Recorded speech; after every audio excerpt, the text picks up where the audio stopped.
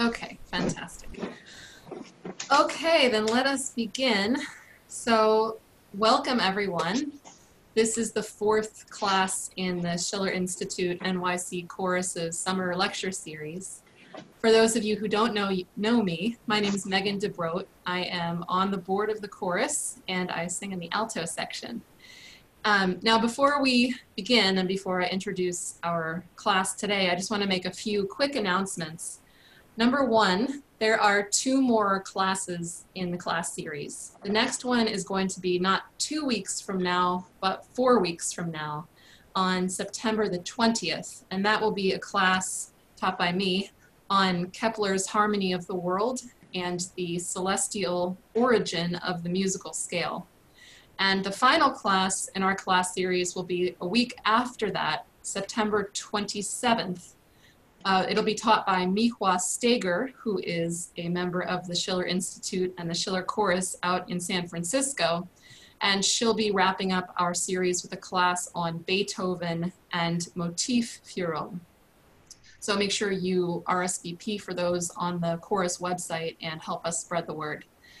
The second announcement is that uh, many of the members of the chorus just completed and posted a virtual performance of Defend the Yellow River in honor of the 75th anniversary of VJ Day from 1945. Uh, it's a beautiful performance, beautifully done, beautifully produced. I'd like to thank Nancy Geis and Liz Fodor for that. And for people who haven't seen it, they can find that also on the Schiller Chorus website. And please help us spread this beautiful performance around. So with that, I will um, introduce today's speaker and our class today. So I'd like to welcome back Fred Haight, who opened our class series back in July with his class Beethoven as an American Composer, Part 1.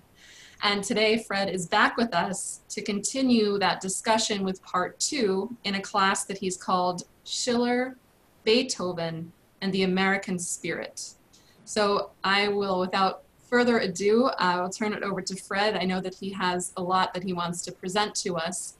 And I want to tell people that we will have plenty of time for questions and discussion at the end. So get ready for that. So Fred, if you're ready, you can go ahead.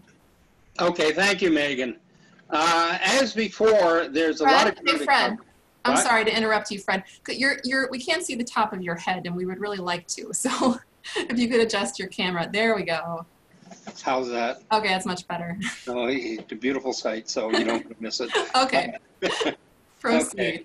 So, uh, as before, there's a lot of ground to cover, so I, I want to uh, cover it in the hour and a half that I've been given and then leave Q&A for afterwards. But there's a couple times when I uh, will wish to poll the audience during the presentation, and I'll just ask you to use the uh, the chat function to give a simple yes or no as I go along with that.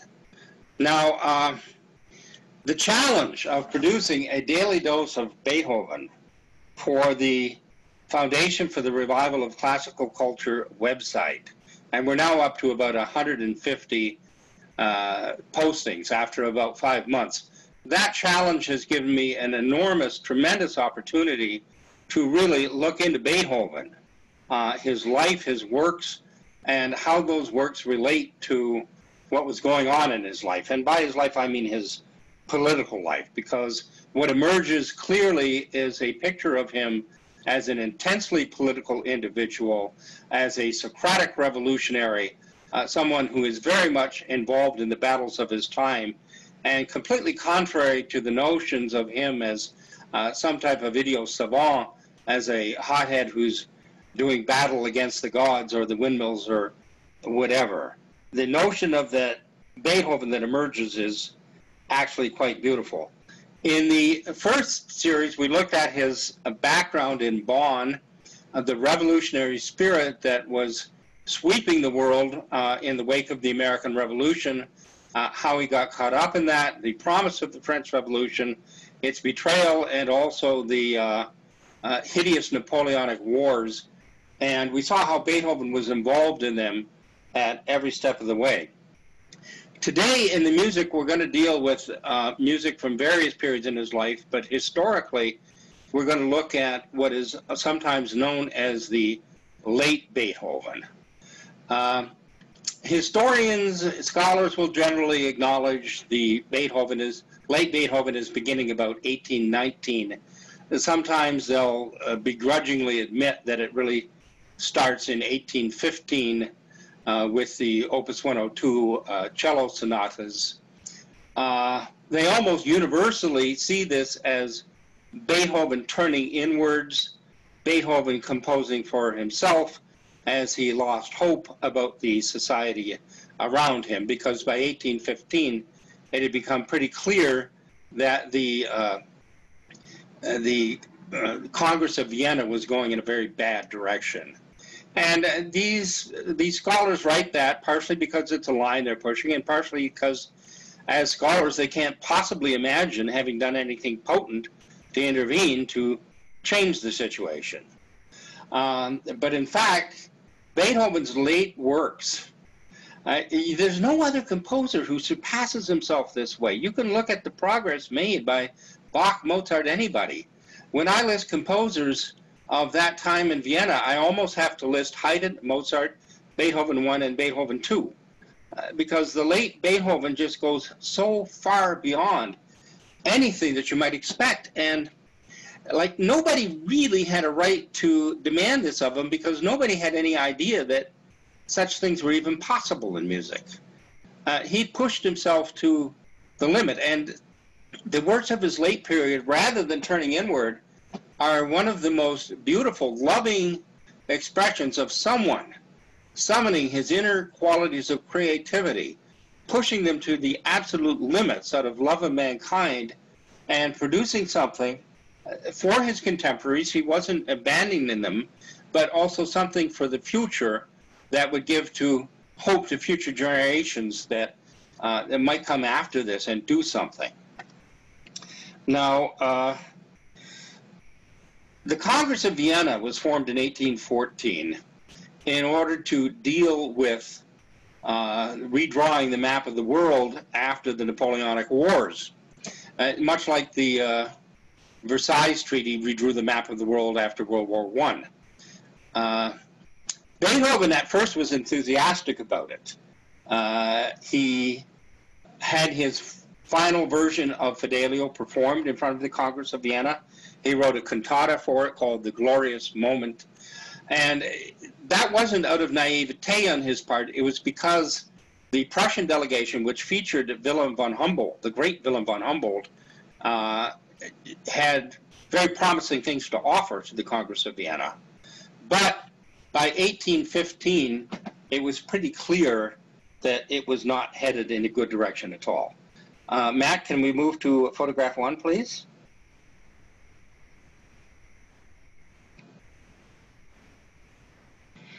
Okay, this is a drawing of a meeting of the Congress of Vienna. You can see that they've got a map of Europe in front of them, and they're they're redrawing the map. Their uh, redrawing of the map after uh, a, a decade of war was so thorough that it was sometimes called the Concert of Vienna. It was that orchestrated, uh, the Concert of Vienna. These men were not revolutionaries. They were not liberals. They were not friends of the American Revolution.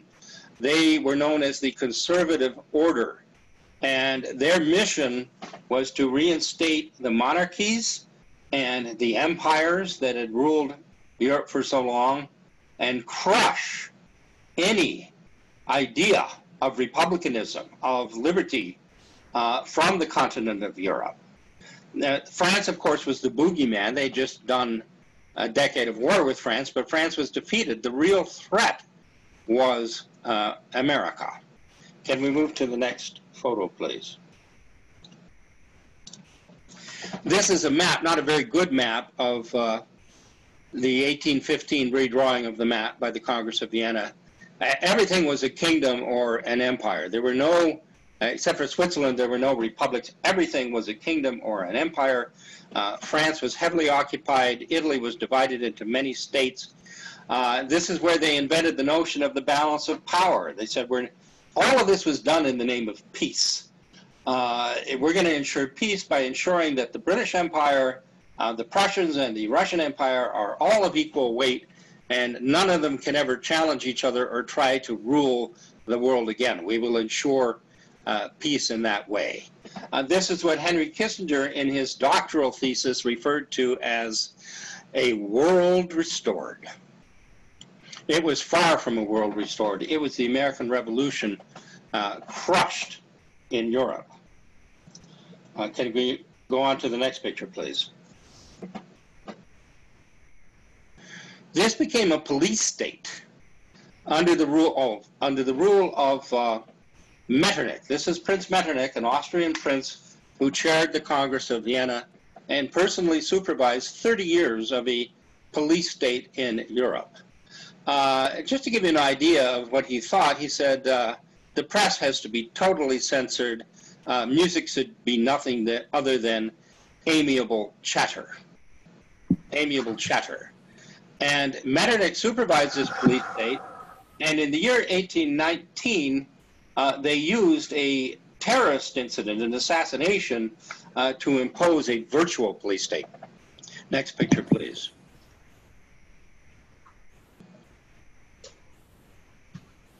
Okay, uh, this 1819 was the year of this assassination. 1819 was the year that they pulled together. Uh, Why in the hell?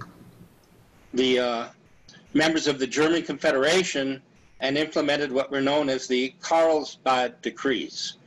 Uh, I'm just going to read you a couple of those decrees so that you get an idea of them. This was total censorship. One, a special representative of the ruler of each state shall be appointed for each university with appropriate instructions and extended powers and shall reside in the place where the university is situated. The function of this agent shall be to see that the strictest enforcement of existing laws and disciplinary regulations is enforced.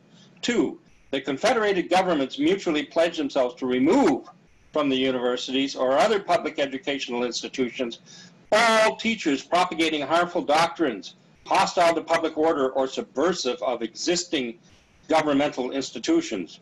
Three, these laws apply especially to that association established some years since under the name of Universal Students Union, uh, since the very conception of the society implies the utterly unallowable plan of permanent fellowship and constant communication between the various universities. In other words, a universal students union could not exist because the uh, unions were not, the universities were not even allowed to communicate with each other.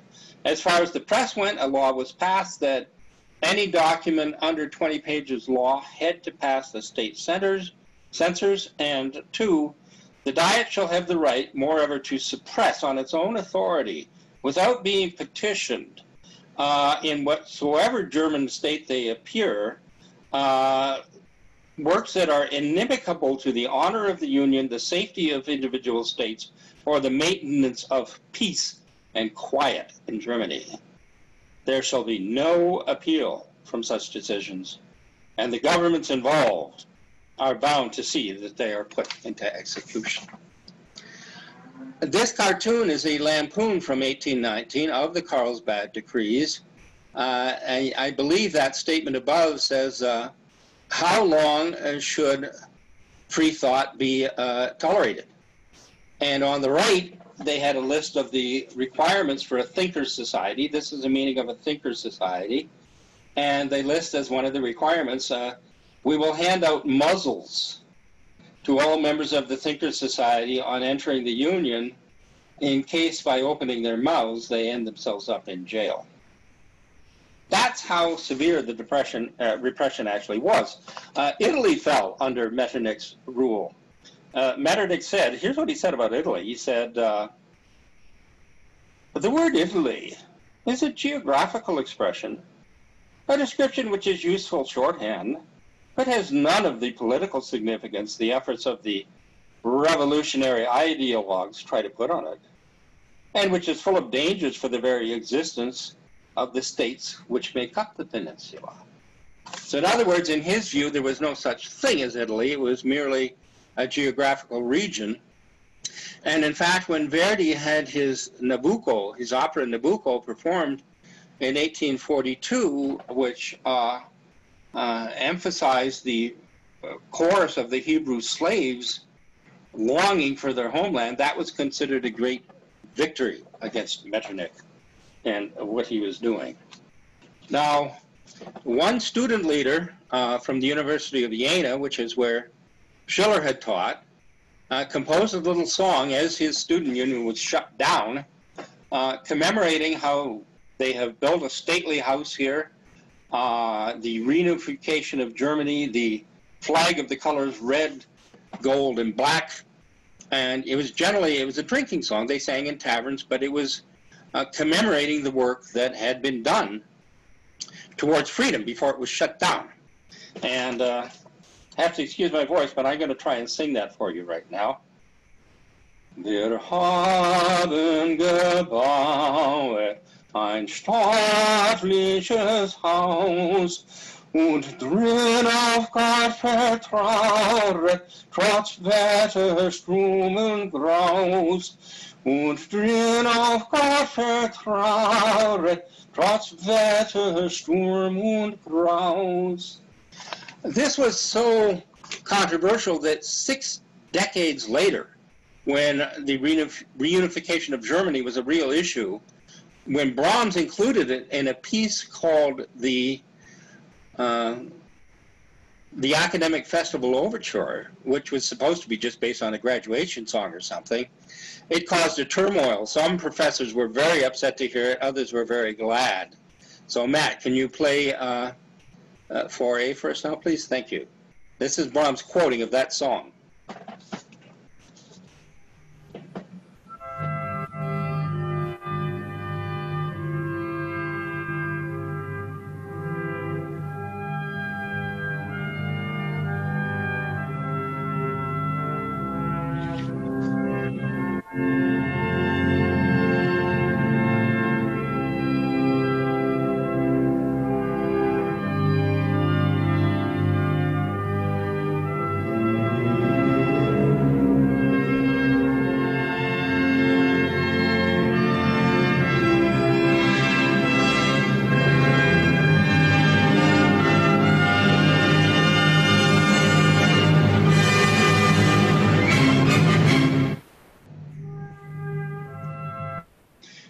The sound on that, by the way?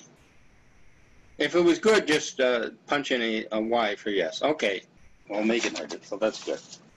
Okay. Now, how did most people react to this police state? Uh, do you think they fought it, or do you think they went along to get along?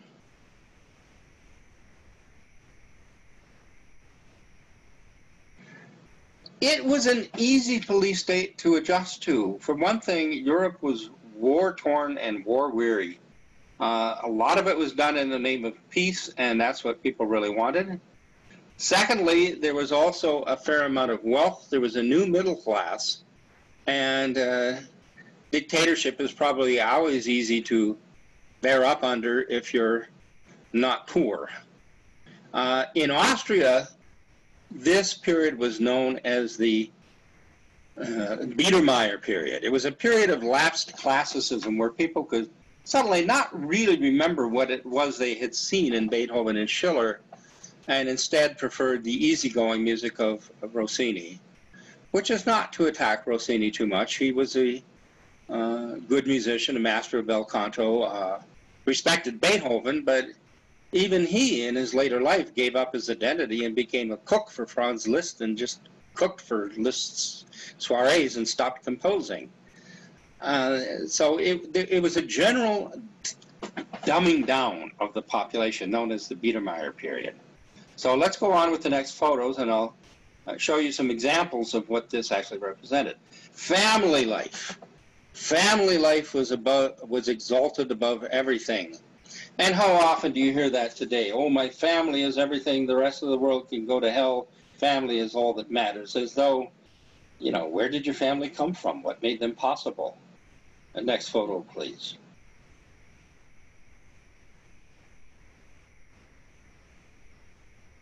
Another picture of family life from the Biedermeier period, post 1815. Uh, interior decorating became an art form. It's certainly not controversial. It's not going to end you up in jail. Go on, please. Another one. Another one. Uh, furniture design became an, an art form. Next.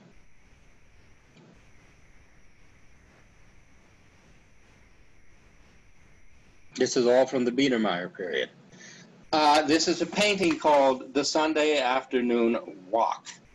And uh, poetry uh, decided to skip politics and become based on nature. That was not controversial. That could not get you into trouble. Let's look at the next picture, please.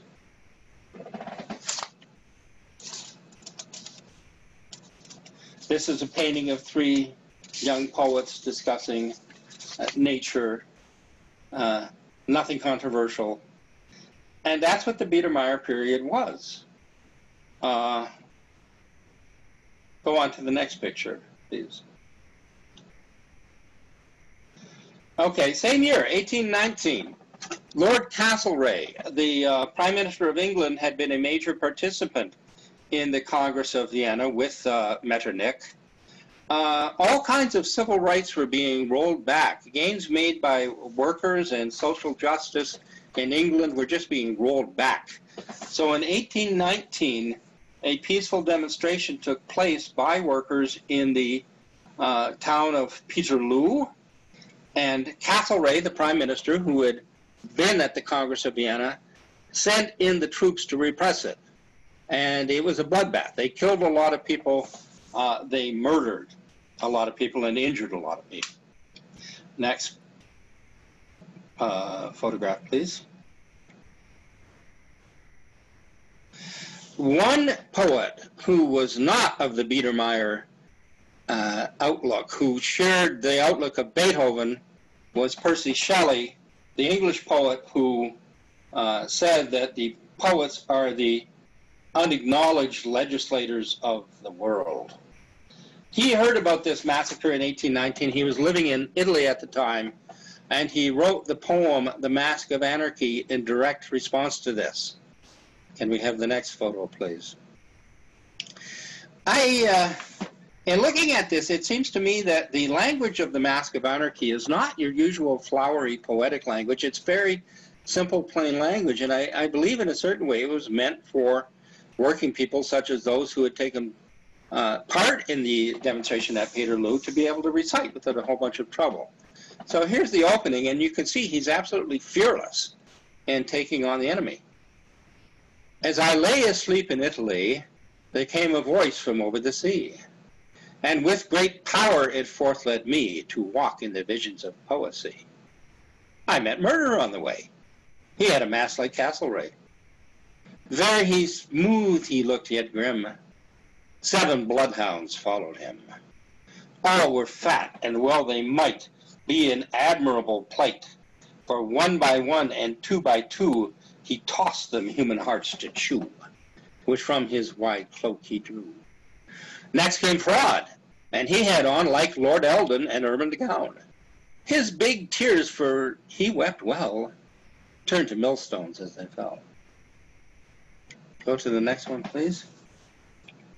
This is the famous ending of The Mask of Anarchy. And that slaughter to the nation shall steam up like inspiration, eloquent, oracular, a volcano heard afar. And these words shall then become like oppression's thundered doom, ringing through each heart and brain, heard again, again, again. Rise like lions after slumber in unvanquishable number. Shake your chains to earth like dew, which in sleep had fallen on you. Ye are many, they are few.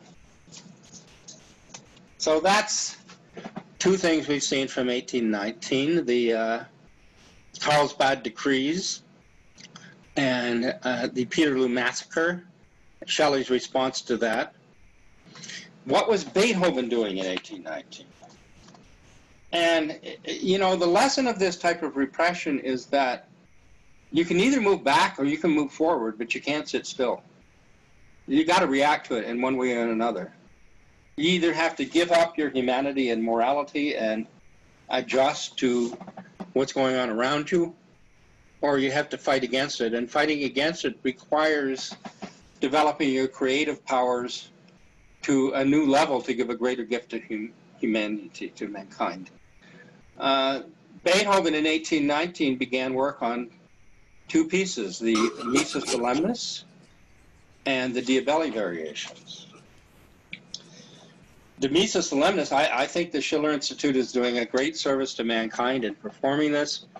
It's, it, it may very well be Beethoven's greatest work, uh, but it's not that well known. And he had a tough time with it. Uh, I have long promoted the idea that he had it performed in uh, St. Petersburg, Russia, because the quality of the chorus, the orchestra, and the and the recital hall there was uh, better than anywhere else. But I recently read that he uh, uh, he sold the exclusive rights to seven different publishers, and at the same time, privately sold ten pre-publication copies to royal patrons, including the kings of France, Prussia, Saxony, Denmark, and the Tsar of Russia. He is castigated for this. It is considered unscrupulous on his part that he wanted money and that's why he was doing it. I think it may be very real that he thought the chances of it getting performed were very slim and he wanted to get it out there to as broad an audience as he possibly could in order to get it done. It was performed in St. Petersburg, Russia in 1824. Uh, it was only performed a year later in uh, May of 1825 in a concert along with the Ninth Symphony. Beethoven originally had sought to get the Ninth Symphony performed in Berlin because he figured he had no support in Vienna, that he just couldn't get it done there. There were enough fans of his in Vienna who had power to rally behind them that it was done in Vienna in 1825. The Missa Solemnis was performed there, but it was uh, it could he couldn't call it a mass because you couldn't perform a mass outside of a church or a uh, uh, uh a, uh, uh, cathedral in Vienna. You couldn't perform it in a concert hall, so he had to perform three of the movements and call them three hymns. As for the argument that he was writing for himself, look at the finale of the Credo. The Credo, the the Creed, the Nicene Creed, the statement of belief has a lot of words in it, and if you look at previous settings by Haydn, Mozart, and others, they're spitting out the words fairly fast because there's a lot of ground to cover. Beethoven takes six minutes to cover five words in a great double fugue at the end of that credo. And the words are, Et vitam venturi seculi, Amen. I look forward to the life of the world to come, so be it. Now, is that about your personal desire to go to heaven, or is that about future generations? I once experimented with taking that music and setting it to a video of kids at space camp and kids constructing platonic solids. And when you see that, you just see, man, he meant this for us. It's for us. He wasn't abandoning the people of his own time, but he was writing for the future. And when you listen to that, it's now. This is what he's doing now. Now, the Diabelli variations, I'm going to go into that a bit because I don't think most people know it very well. Uh, same year, 1819, uh, the publisher, uh, composer Anton Diabelli, wrote a waltz, a simple little waltz, and challenged 51 of the best known composers in the Austro Hungarian Empire to set one variation to it.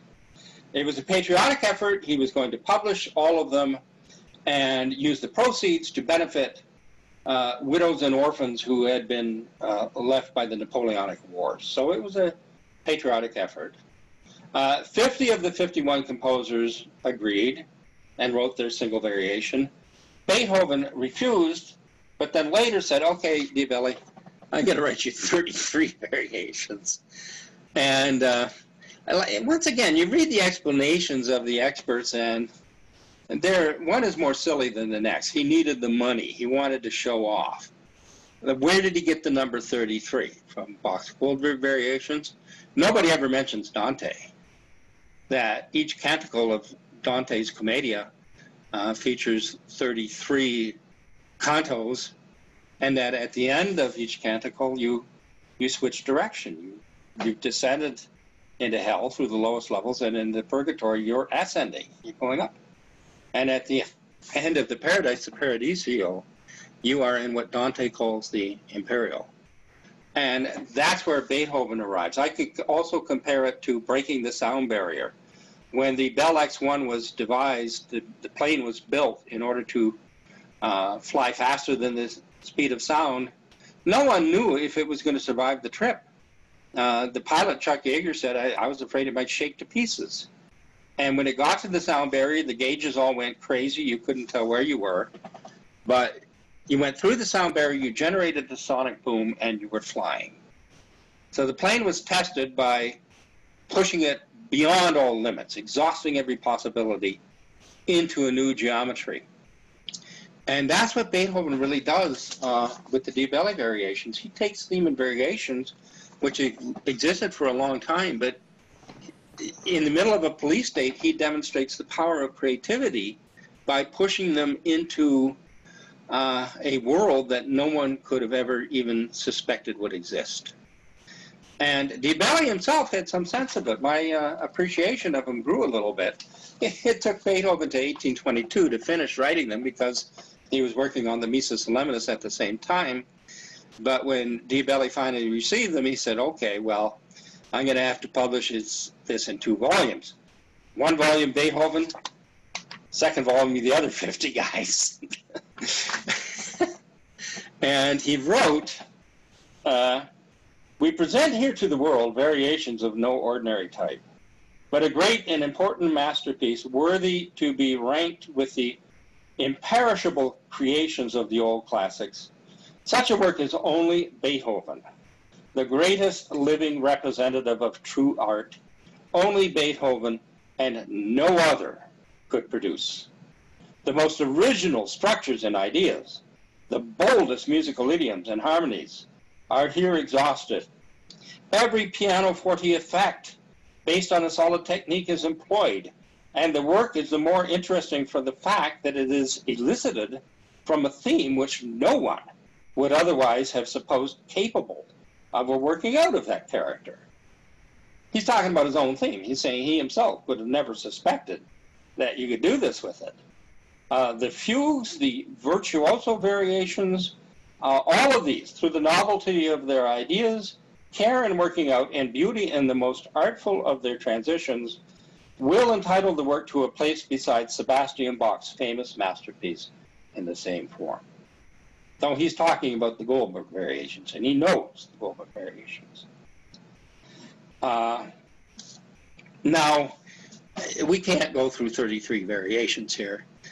What I'm going to do is I'm going to do a juxtaposition for you and play the waltz that Diabelli wrote, skip 30 variations, and go to variation 31, which is the most beautiful soprano aria you could ever imagine written for piano by a guy who supposedly didn't know how to write for the voice, followed by a triple fugue. And they are variations. They're not something that he just wrote and stuck on. They do uh, derive from Diabelli's waltz, although including from the cross voices in that waltz. So I'll present it to you. You can't possibly figure out how he got from here to there listening to it, but you can say, my God, you know, you can appreciate that he is uh, on the other side of the sound barrier, if you will. So we're going to play it now, and the middle part is very quiet. If it's not audible, uh, put an N in uh, just to let me know. But let's try it. This is Diabelli's Waltz.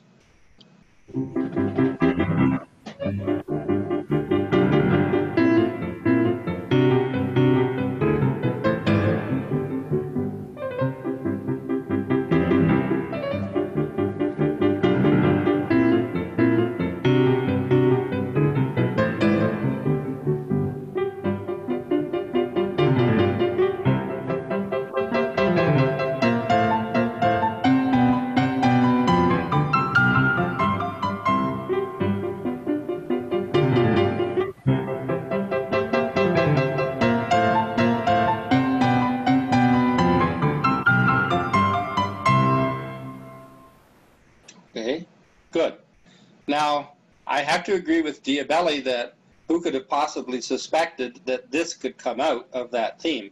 This is variation 31, uh, which is a just a beautiful uh, soprano operatic aria.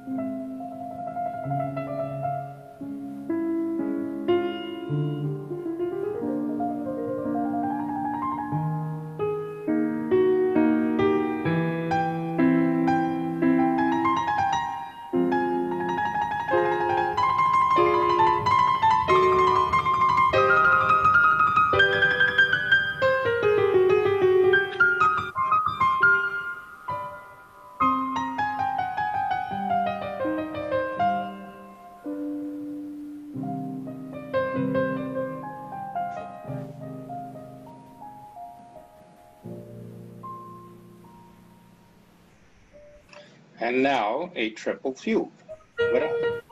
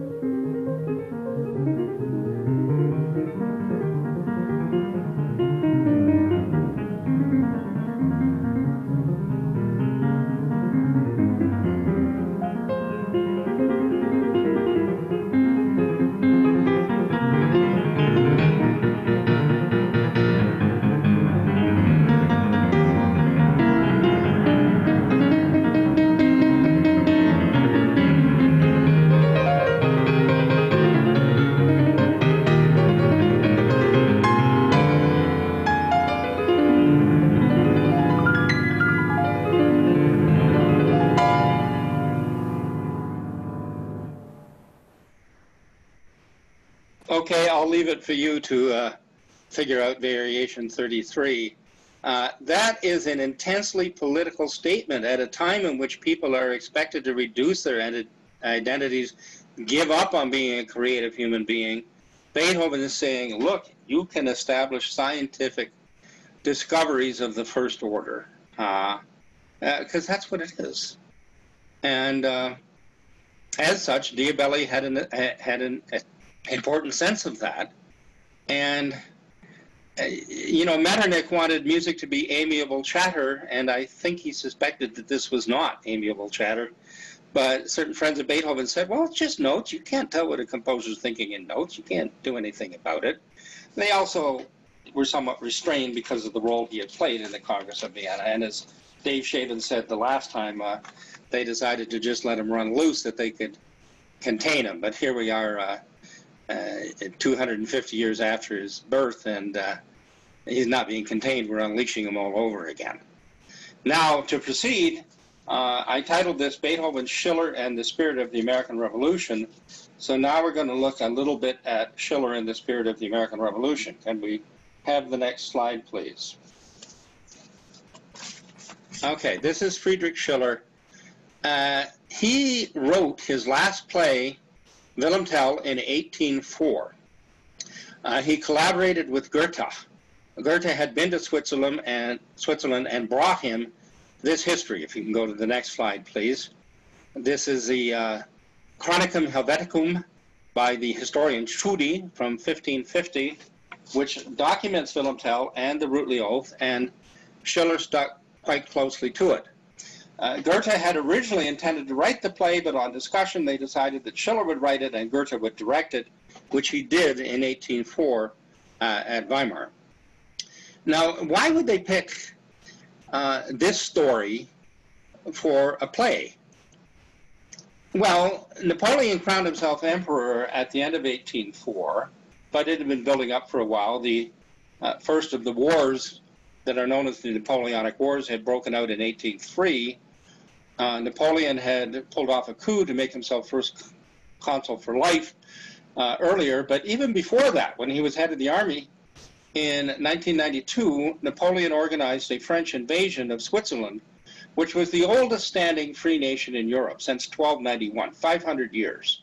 And Napoleon invaded it and conscripted 50,000 Swiss men into the French army, and it was a sore point.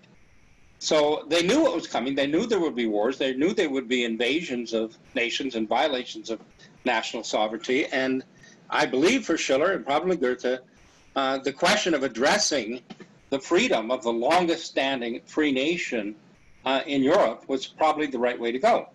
They wrote it, of course, for the entire world, and Europe in particular, but as you can imagine, it had a profound impact on uh, Switzerland. Can you go to the next one, please? Uh, Schiller had said that art must catch up to life if it doesn't wish to be left in the dust, because life and the revolutions taking place uh, are threatening to surpass art. And certainly one of the great works of art is the Declaration of Independence of the United States, and uh, uh, not just as a written document, but also a fledgling nation. And uh, Schiller made that point in his Rütli Oath in his play Wilhelm Tell. Let me read you just this passage from the uh, Declaration of Independence. We hold these truths to be self evident that all men are created equal, that they are endowed by their Creator with certain unalienable rights, that among these are life, liberty, and the pursuit of happiness, that to secure these rights, governments are instituted among men, deriving their just powers from the consent of the governed, that whenever any form of government becomes destructive of these ends, it is the right of the people to alter or to abolish it and to institute new government. Next slide, please. You can see the way that uh, Schiller uh, directly invoked the spirit of the Declaration of Independence in the Rütli Oath. Here's the Rütli Oath right here. Oops. Uh, okay. No, there is a limit to the tyrant's power. When the oppressed can find no justice, when the burden grows unbearable, He reaches with hopeful courage up unto the heavens and seizes hither his eternal rights, which hang above, inalienable and indestructible as stars themselves. The primal state of nature reappears where man stands opposite his fellow man. As a last resort, when not another means is of avail, the sword is given him. The highest of all goods we may defend from violence. Thus stand we before our country, thus stand we before our wives, our children. Now, let us take the oath of this new league. We will become a single land of brothers, nor shall we part in danger and distress. We shall be free, just as our fathers were, and sooner die than live in slavery. We shall rely upon the highest God, and we shall never fear the might of men. Can you hear the echoes of the Declaration of Independence in that? And it, it took a while to strike me when I, I, got really interested in it and started researching it. Try to find the original Rütli Oath. Good luck to you. It's from 1291. Uh, I, you can't really find it written down. You can find a couple summaries of it. Uh, when Swiss people today say the Rütli Oath, they're reciting Schiller. He gave them their Declaration of Independence. He also gave them their heroes because Wilhelm Tell and uh, the Rütli Oath were somewhat falling into um, distant memories when he wrote the play in 1804. So you have to ask yourself, well, why did he mobilize the people around these patriotic images? Now, to investigate just how far uh, Schiller's introduction of the American system into Switzerland went, let's go to the next uh, photo, please. Okay, we missed one, but that's okay. Uh, we missed one. Well, no, that's my fault. I think, Matt, I left it out. There was a, no, go back, go back. There was a photo of a guy named Troxler who was a friend of Beethoven's, who was the guy who argued that the 1848 uh, Constitution of Switzerland should be based on the American Constitution. And it was, though with limitations. This is a photograph of the Rütli Plain, where the oath was taken. Do you see a, a small obelisk in the lower right-hand corner? You see it down there? Okay, let's get a close-up of that. Next photo. That is known as the Schiller Stone, and it was dedicated to Friedrich Schiller in 1859 on the 100th anniversary of his birth. Who did this? Next photo. This is Gottfried Keller, who is a Swiss poet, uh, a politician, who organized for that stone to be dedicated to Schiller and also organized for a revision of the Swiss Constitution in 1874 to reflect the Bill of Rights of the U.S. Constitution. And it did. I've read it. It says there are no classes in Switzerland. All citizens are equal. Women are equal. Had a few problems, took them 100 years to give women the right to vote. Uh, so I'm not going to deny that. Many people will look at this and say, well, you know, Fred, Switzerland's not a great place. But hey, if you looked at the United States and didn't understand its history, uh, what would you think about the United States? You have to go back and look at what went into it uh, to give you something to work with, to build upon. Next photo, please. Tell is all over Switzerland. This is the statue of Wilhelm Tell in Altdorf, the place where Gessler hung his cap uh, for everybody to bow down and worship. Next photo.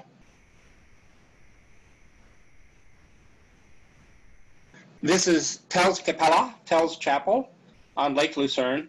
It is at the point at which they figure Tell jumped off the boat in Schiller's play when it was carrying him to the dungeon at Küssnacht Castle. They've even figured out the place where he uh, jumped off the boat.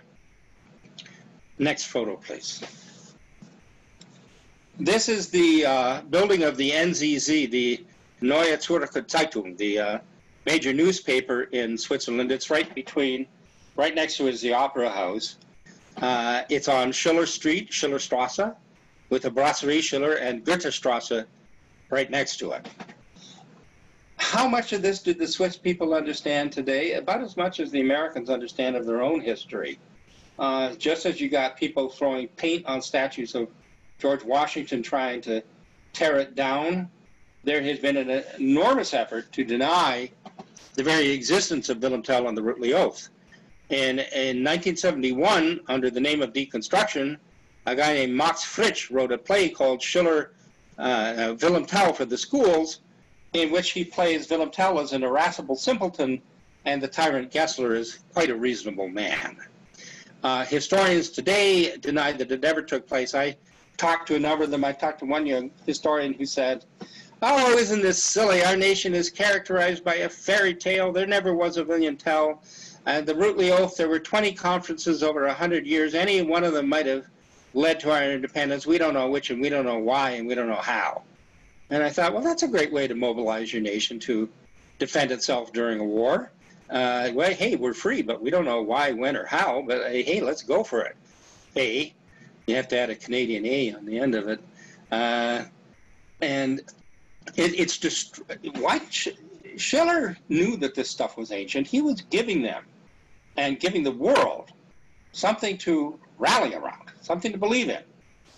Now, uh, John Sigerson wrote a very beautiful article in uh, 1992 for the Schiller Institute in which he cited how Beethoven set the chorus of the monks after uh, Tell shot the tyrant Gessler, because it, it, could be an argument for regicide. Uh, Schiller could have easily had Tell defend himself in self-defense, but he didn't. He ambushed Gessler and shot him right down, and made the point that there are times when it's okay to do that. And as John Sigerson pointed out, you don't want the people cheering for that. So Schiller brought in the chorus of the monks to introduce a somber note, and Beethoven set it to music. So we have a uh, version of it here with the words. Can you please go ahead and play that, Matt?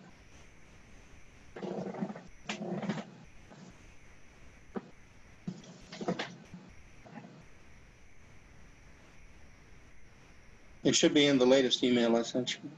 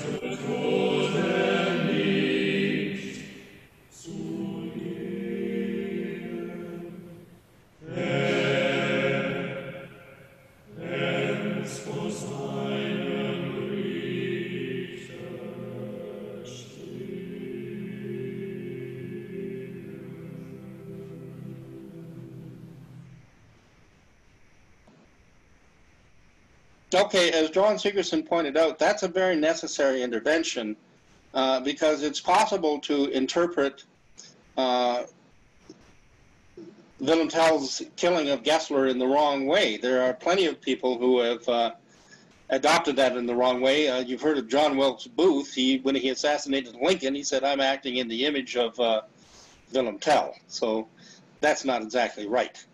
Now, let's proceed to the next picture. I'm going to show you another fan of Schiller's Willem Tell.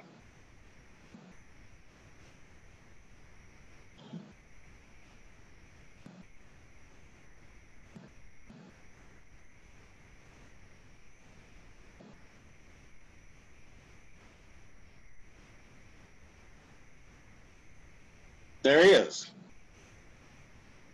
Adolf Hitler, when he first came to power, paid a pilgrimage to uh, Schiller's birthplace. Uh, he used a passage from Wilhelm Tell as a subtitle in Mein Kampf and had the Nazi youth recite uh, the Rütli Oath because it was about the fatherland. Now, I don't know if he or any of the other Nazis ever read it cover to cover. They were just seizing, they, they wished to appropriate the German classics as saying, uh, this is us, this is what we represent. Yet, uh, Hitler ended up banning Wilhelm Tell, one of the few German classical works ever banned. Why? The usual excuse is that a Swiss sniper took a pot shot at him during a rally, but that was quite a few years before he banned it. There's a myth that the Nazis never had a plan to invade Switzerland. In fact, it's been revealed that they did.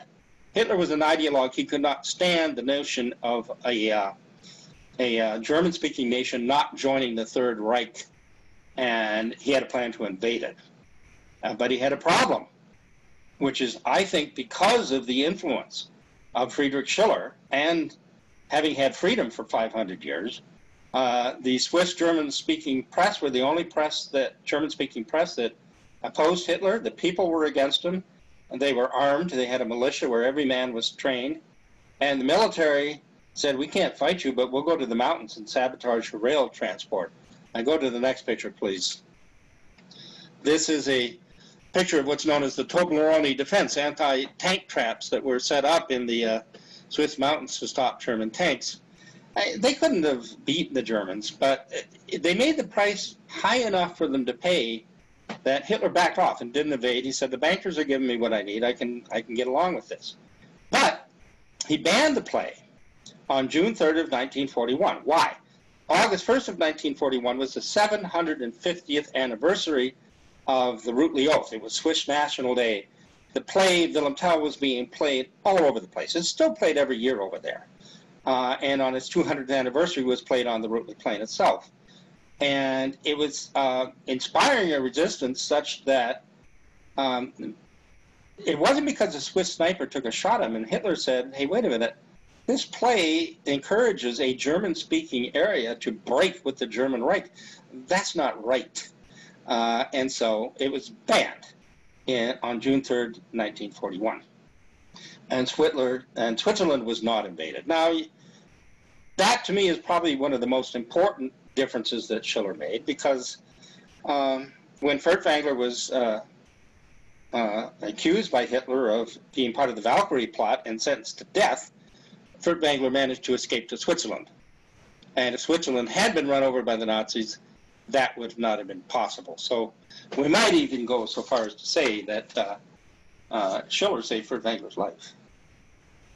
Okay, let's go on to the next section, okay? Now, I don't have slides for this. Uh, the third section, I'm going out on a limb a little bit. Lots of people have looked at how uh, Beethoven set various passages of Schiller to music. I'm looking at the philosophical rights, works that Schiller wrote, and then I'm looking at what Schiller called for to be done in music, and I'm looking at Beethoven and I'm saying Beethoven is doing exactly what Schiller calls for because Schiller wrote his aesthetic letters uh, in the aftermath of the failure of the French Revolution. And he said, a great moment has found an unresponsive people. And how do we educate people? How do we educate them when they're living in a police state? Uh, it's through beauty that we shall proceed to freedom. And he comes up with new ideas of uh, what that beauty actually has to be. Uh, can you go directly, Matt, to the one called Cole 131, number two, please? Don't play it yet, just get it ready. Uh, one of the things that Schiller says is that if we're to be truly human, because he, he says, I'm not trying to give people some artificial notion of humanity. It's not like early Christianity where you have to repress the carnal images to live totally in the realm of reason. It's not like Epicureanism where you totally live in the sensuous realm. He said, there's part of us that's eternal, immortal, because we live in ideas. There's part of us that's sensuous. We have to find the instinct for play between them. And he says that we have to educate our emotions and that uh, we should be able to shift from joy to seriousness and back to joy without losing a beat. And that's not easy for a lot of people. I, I see it all the time. When people are in a humorous mood, they don't want something serious. I remember an episode of uh, Johnny Carson where he had uh, Jim Garrison, the New Orleans state's attorney, who dared to indict someone for the assassination of Kennedy on. And when Garrison got a little bit too serious about discussing the Kennedy assassination, Carson and all of his friends freaked out because this is supposed to be comedy. We're not supposed to go over into the realm of the serious. And likewise, you're not supposed to interrupt something too serious with something comical. Schiller said, yes, we can go back and forth from one to another because we are one integrated human being. We are one integrated mind, emotionally developed, so that all of these are being addressed and processed by the same mind. We're not two different people when we hear this. And it's normal in a piece of music to have uh, an allegro movement, which is fast and inspiring, and an andante or a adagio movement, which is slow and very moving. But Beethoven doesn't just do that. In his late works, he wrenches you, wrenches you from one emotional state to another, and expects you to do as Schiller said, keep that emotional intensity uh, from one to the other. So now what we're going to play for you is the transition from the fifth movement to the sixth movement of his string quartet, Opus 131 in C sharp minor.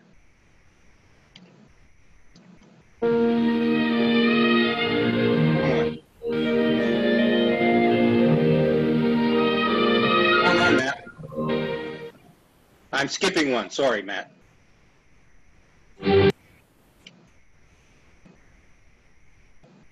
It's the one called Choral 131.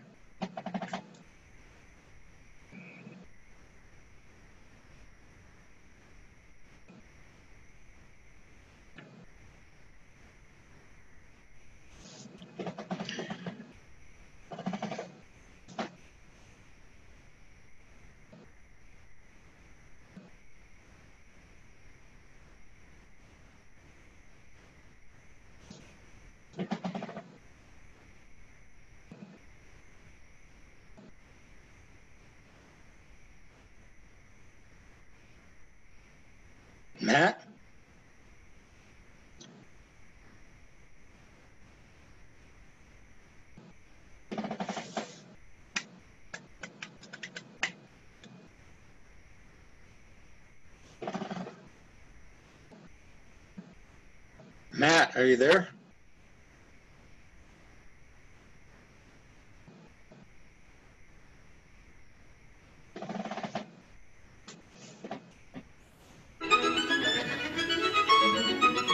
Movement five, the end of it.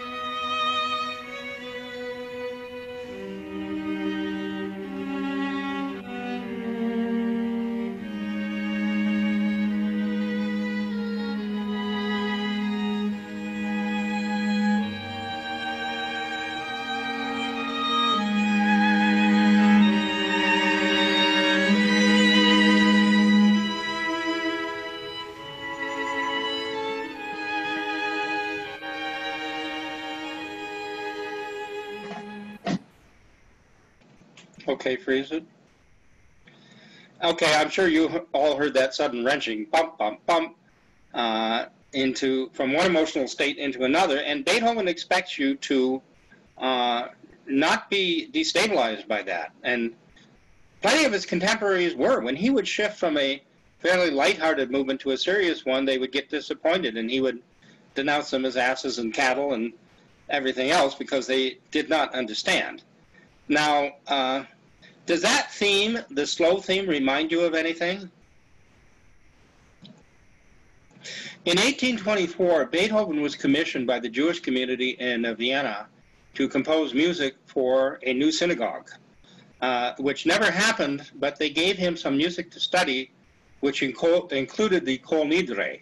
And I'm going to play for you in succession first the opening of that sixth movement of the quartet and then the opening of the Kol Nidre as sung by a Jewish cantor. Okay?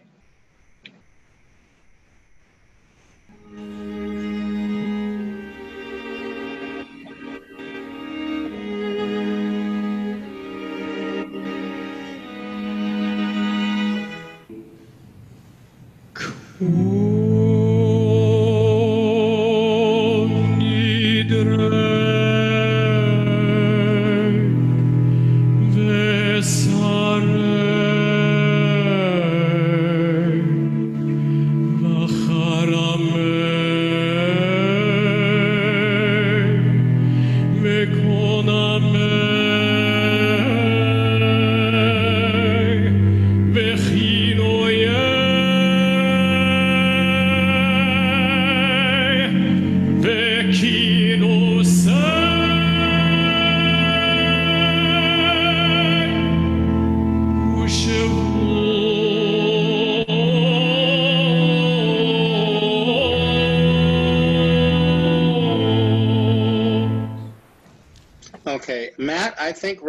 continue with that, uh, the rest of that example, we're running short on time. I want to go straight to Christ on the Mount of Olives, please. Um, there's a lot more I could say about that work, but uh, I'm hoping that the idea gets across. Uh, shortly after writing his Heiligenstadt Testament, in which Beethoven acknowledged that he was going deaf and said that his art was his only thing that kept him uh, from being suicidal. He wrote the oratorio Christ on the Mount of Olives, I think, as a study for uh, his opera uh, Fidelio. It's a much uh, maligned work, but I think it's really an important work and it's beautiful because it really fulfills the idea of how Schiller would treat this issue. The Passions of Christ by Bach and others start with the trial of Christ, go through the Garden of Gethsemane, and go into the crucifixion. This deals just with the Garden of Gethsemane, with the question of to be or not to be. Are you going to accept this? So, Matt, can you pull up that? Uh... Okay.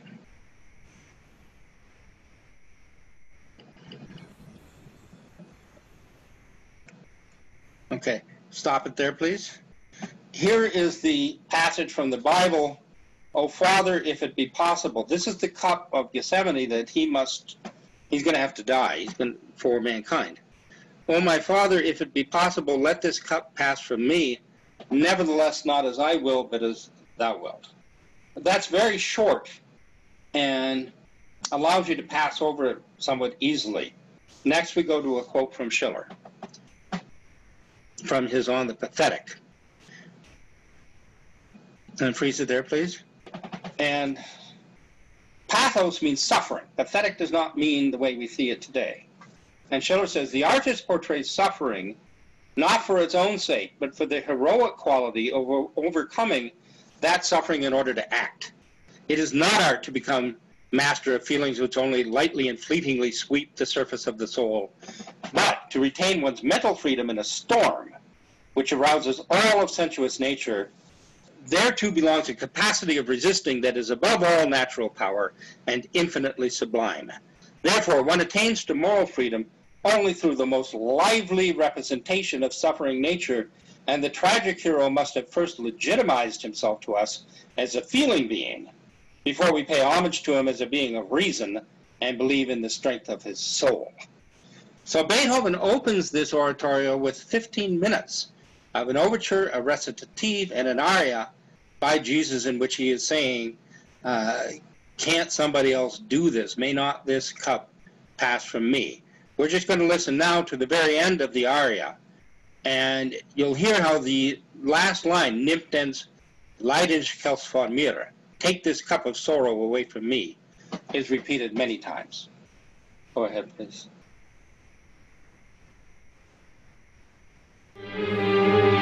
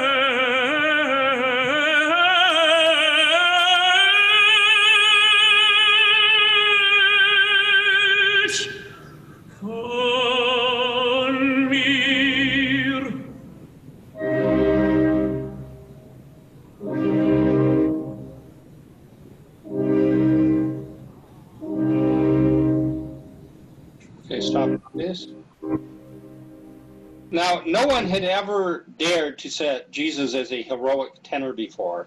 Tends to make him too human.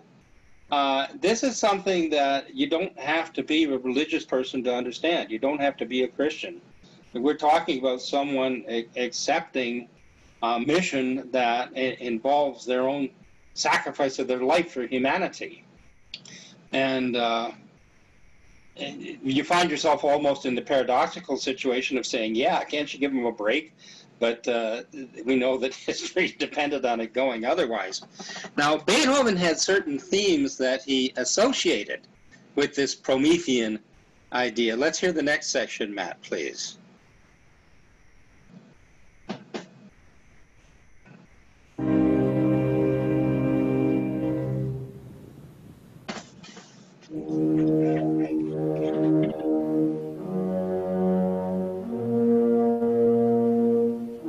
Not this thing, the next one. If anybody recognizes it, type it in. This.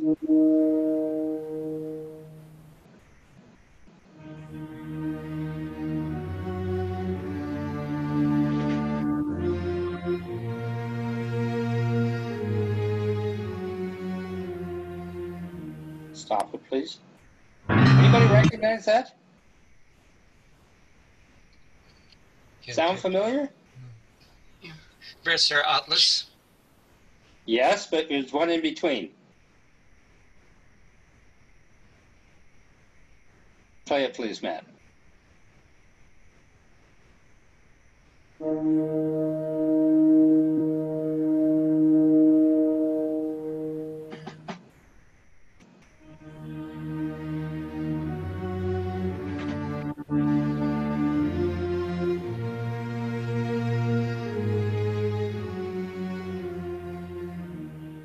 Go on?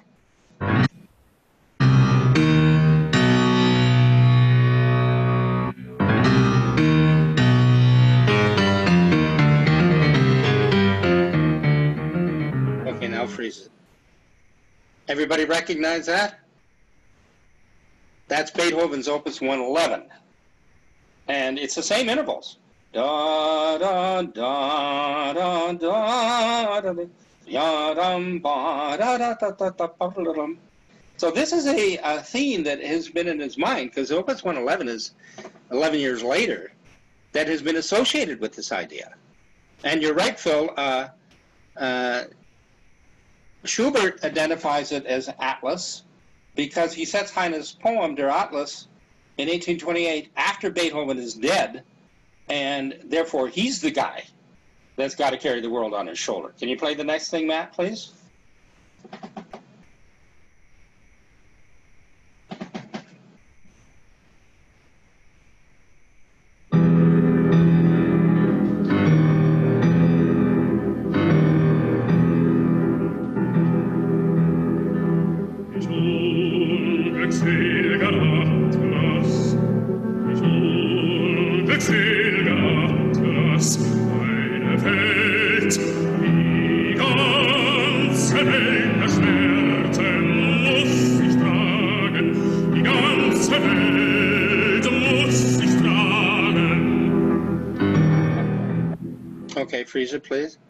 So that is uh, directly Schubert's acknowledgement of what is going on in Beethoven's Opus 111 and how he now has has to bear that role. Now, to continue the process of, of Jesus accepting uh, this mission, the next stage is a duet with an angel, a seraph, where they sing, Great is the pain, but even greater is my love of mankind. It's in A flat, the same key as the middle section of Florestan's aria in uh, Fidelio. And on the words where Jesus sings Meine Liebe, the, the same notes in which Florestan, Florestan sings Meine Pflicht, meine duty, my duty. So let's just listen to this. I'm, I'm using excerpts because we're just low on time.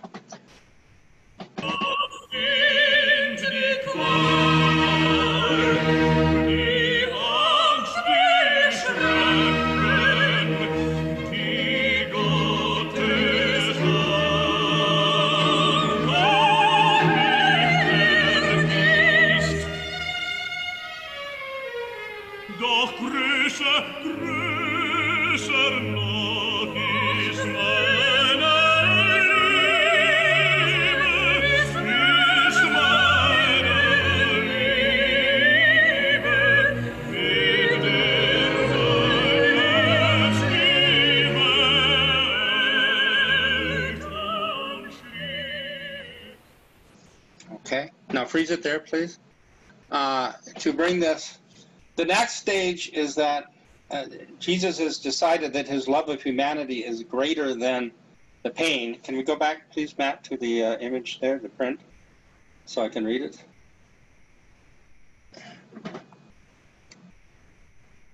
Okay. This is from Schiller's On the Sublime. No man must must. The will is the character of man. Precisely for this reason, nothing is so unworthy of man as to suffer violence, for violence annuls him. Who does it to us disputes nothing less than our humanity. Who suffers it in a cowardly manner throws away his humanity. The single exception, by which he means death, would annul the whole notion of man.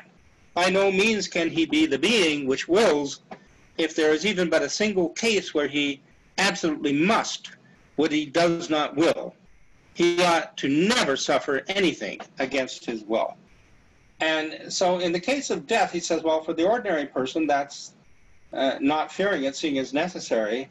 But he says, for the exceptional person, the sublime character, that's making it your own act, your own instrument. And that's the change that takes place by the end of this. Can we go uh, to the next uh, text, please, without the music? Before we start the music? I don't know if I got that right that.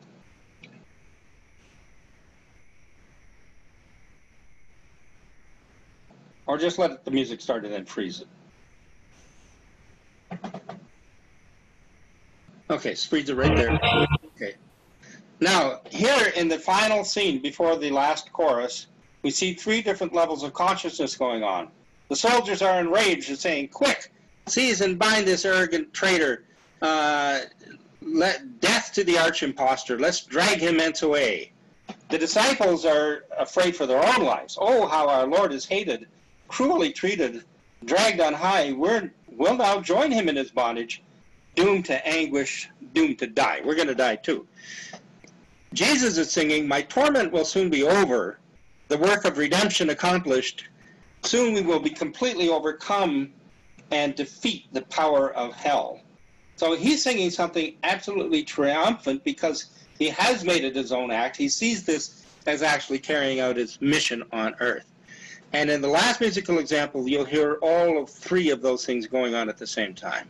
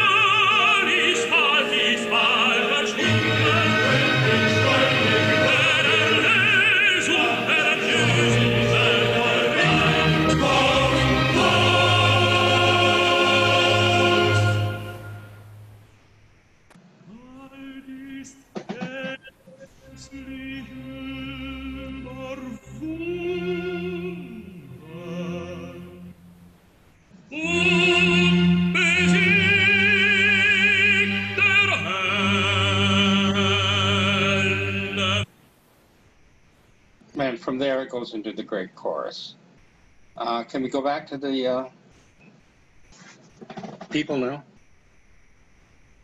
So that that is, I mean, Beethoven approaches this story in a way no one else ever has. He makes it on the question of facing this fear and confronting it and changing it uh, in very much the way that Schiller would do. So, you know, I don't have anything written by Beethoven that says I'm doing exactly what Schiller says here.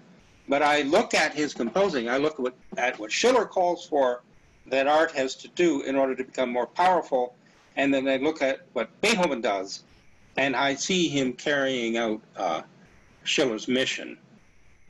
And on this question of this shifting of emotional gears that Schiller calls for, I, I think the people that do that today are the people in the Schiller Institute who organize, the people who go out to tables and meet the population, get on the phones and talk to them, because you can't do that from a fixed state of mind or one fixed emotion. You're going to run into everything, and you're the artist. You have to be able to deal with whatever uh, people bring to you. We learned that from a uh, a modern day Schiller named Lyndon LaRouche, and we learned that from Schiller and Beethoven themselves.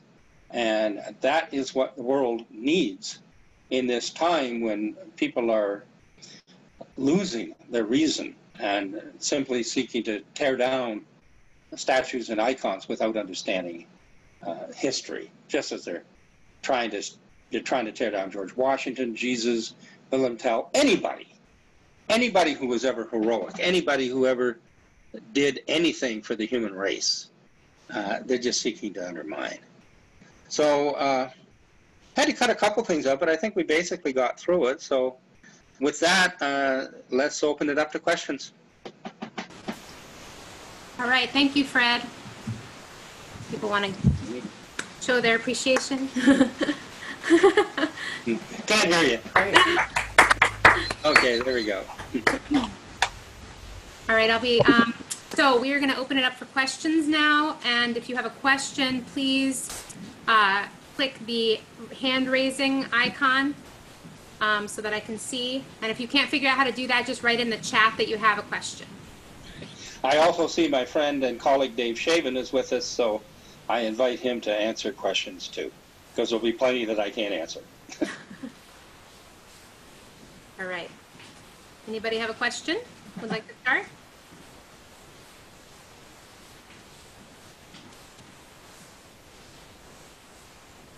And if you're physically raising your hand, I can't necessarily see you either. I unmuted myself. Oh, you, you have a question, Nareda? Uh, I just wanted to make an observation, which I think fits into what Fred has said, which is that the Jesus that you encounter in St. Paul is this uh, more heroic, uh, more philosophical Jesus, more reflective than the Jesus, and and those Bibles were written a couple of hundred years after the death of Jesus, whereas the Jesus in the earlier versions is not as powerful or as a poetic figure. I mean, his sacrifice is still very well documented, and he's very human in terms of the fear and the fact that he doesn't give in to his fear, but he does what he knows he must do. But in Paul, there is more of a reflection, less of the fear, more of a, a world view of what his sacrifice is going to mean. And I think that that dovetails nicely into what was presented in the music. Well, thanks, Narita. I, I think that Gnosticism fed on the idea of uh, denying that Jesus was both man and God and emphasizing it one way or the other, but he couldn't possibly have been both. So a lot of the times you get people who wish to see him as God and deny uh, the human element. Uh, and uh, you know, I mean, for that reason, like in the in the movies in the 20th century, no one was allowed to even play him because it was considered that a human being couldn't assume that role. I think Beethoven here is really assuming uh, and impressing the human nature of Jesus and what he actually had to go through without at all denying his nature as divine, but making us actually sympathize and identify as a human being what, what he had to go through as a human being. Because if he's just God, then, well, it's very easy. You know, you're going to go to heaven anyhow, so it doesn't matter. And I, I, I think that is part of what Beethoven is really doing, so that you identify with the uh, what he as a human being actually had to go through in order to deal with that.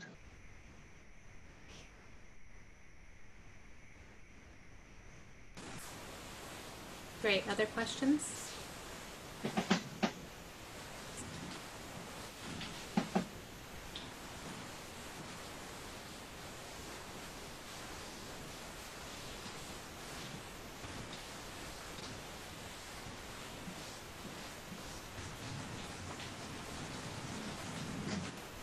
Shy bunch here. Well, it's Metternich, Metternich and the censors have taken over.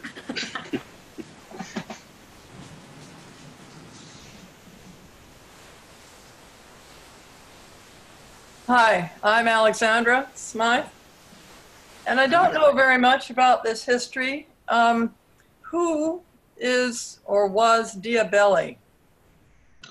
Uh, Diabelli was a music publisher and amateur composer Ah, in, okay, uh, in Austria. gotcha. And he came up with this idea. Uh, I'm going to write this waltz. I'm going to challenge all the composers to set one variation to it, and Oh, okay. publish it and raise money for the widows and orphans of the Napoleonic Wars as a uh, uh, as a charitable uh, patriotic gesture. Right. Great. I think I think that if Beethoven had not responded with the Diabelli variations, you would have been a lot less likely to have ever heard of him. Well, now I know about him. Thank you very much. okay. All right, great. Art, you have a question? Art, then Dave, then the uh, Ulanowskis.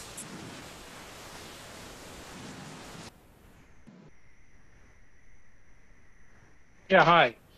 Um, I was very interested in the um, thing about uh, William Tell, the history of William Tell, and the fact that there was some kind of a Rutlia. Has that ever been found? You said it might have been looked for, but it wasn't found, or something like that. But I was really interested the, that there was a historic figure. I didn't know that that was true. Well, part of the reason they contested is the first written account of Willem is from 1474. It's something called the White Book of Sarnen, and it gives the account of Willem and the Rütli Oath. But since they occurred in 1291, that's like over 200 years later.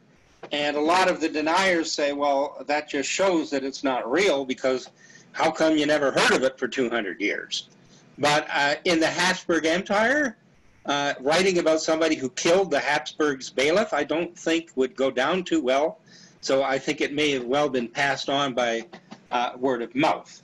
So it was it was in this White Book of Sarnen, and then later in 1550, Tschudi wrote the history of the the Helvetic Helvetic Chronicon Helveticum. Now I talked to a lot of uh, historians in Switzerland who said, "Oh, this is nonsense. It's a fairy tale." And I said, well, um, what do you think about the White Book of Sarnen? And they said, what? They'd never heard of it. The people who were denouncing it as not being true had never heard of the first place, the first book in which it was actually published. And there's only one copy of it in existence, and it's it's suspect. So uh, it goes back a long way. It's it's very hard to prove these things, but uh, Schiller had a reason for uh, stressing it. It became a rallying point for the world and for Switzerland during the 19th century. And the attempts to erase it today are not good. They're born of the same spirit that would erase any heroic action by uh, George Washington or anybody else that they're trying to knock down. And in fact, there were there were a lot of stories of someone just like Willem Tell from the time. So they're really they've never presented a good excuse uh, a good reason to believe that it's not true.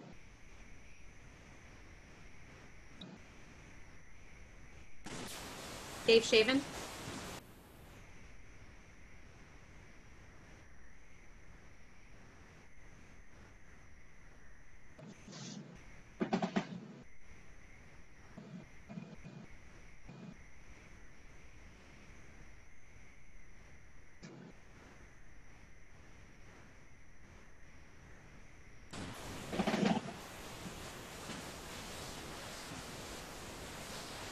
Can't hear you. Chris, Hmm. We can't hear anything. Is your computer speaker muted, Dave? I can hear you. I can hear Nancy, Diane, and Chris.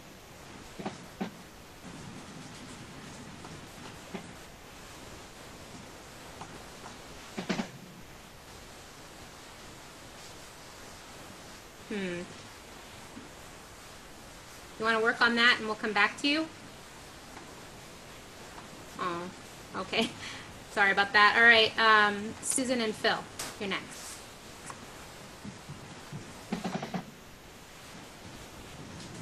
Uh, my question, Fred, thank you very much for this. Um, there's a lot to work with.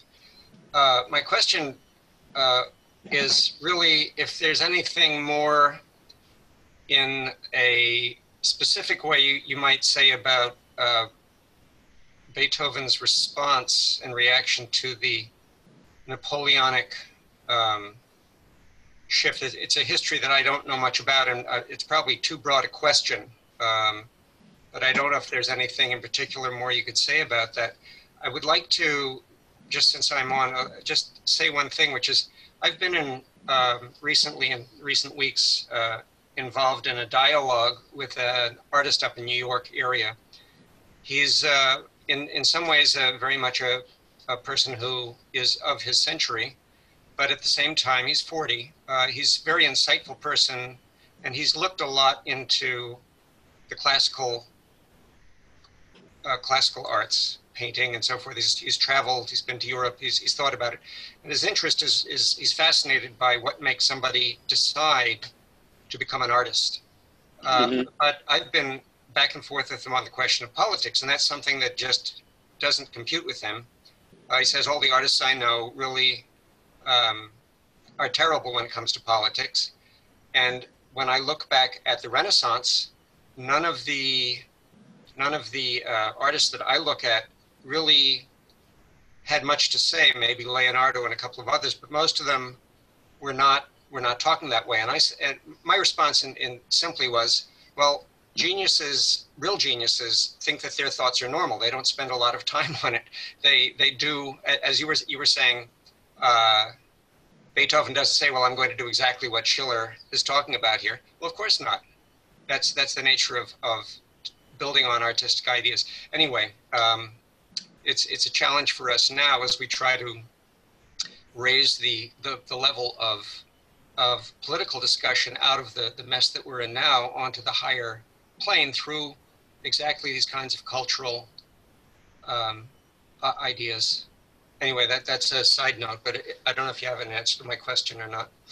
Well, yeah, in a way. I mean, uh, to say that the artists of the Renaissance were not political, uh, it misses what political means. Uh, because, take for instance, uh, now Lynn, I just had the opportunity to read a paper by Lynn on uh, the post 1815 uh, music and before and after 1815, and he speaks about the Renaissance influences in uh, Flanders and Naples.